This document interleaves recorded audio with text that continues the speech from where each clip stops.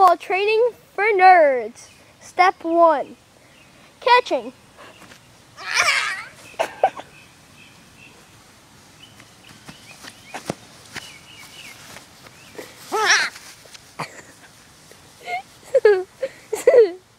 Step two. Throwing.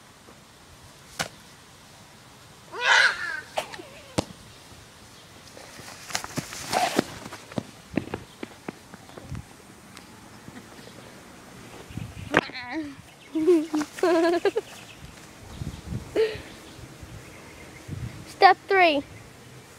Throwing at your feet. And dying. Yay! And that's it for now. And that's it for football training.